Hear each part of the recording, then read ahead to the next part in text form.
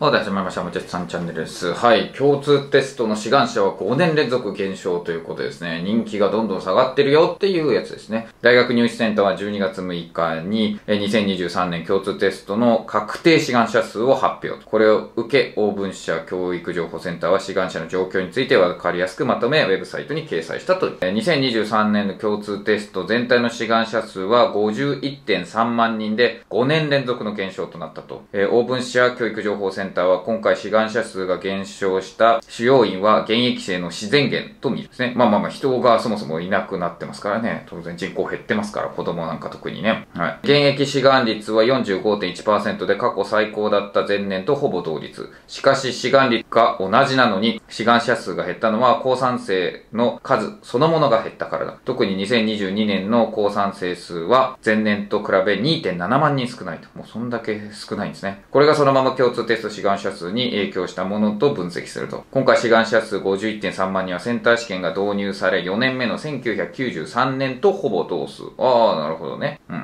まだそんなにスーパー人気じゃなかった頃ね。ただし、1993年は現役志願者率18.4%しかないんだ。へえ。2023年は45.1%、センター試験を利用する私立大の割合は、1993年14.4%に対して、2023年は89.7%。こんなに高いんだね。ええー。1993年のように、これからセンター試験の利用が拡大していく勢いがあった時代と現在とでは、数字の意味合いも違ってくるだろう。もうそうだよね。割合全然違うじゃん、これ。ええー、そうなんだ。さらに、次年度2023年の高産生は2022年よりさらに4.1万人減少する。また、もう1年後の2025年には、新家庭入試となる、総合型や推薦型の志望者が増えることも予想され、基礎受験生は激減するだろう。共通テスト志願者減少の底はまだ当分先にあるだろうと。なるほど。はい。まあ、こちらがね、オーブン社の、えー、表になりますので、はい。現役志願者、